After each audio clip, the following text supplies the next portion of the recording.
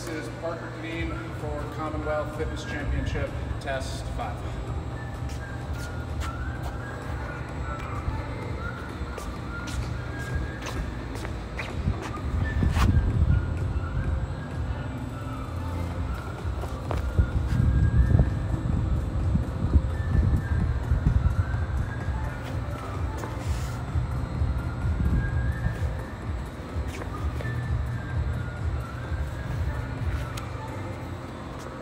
So we got wall balls here. 20 pounder.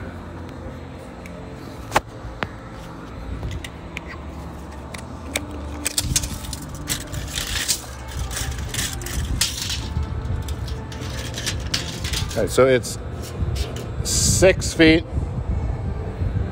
to that first dot.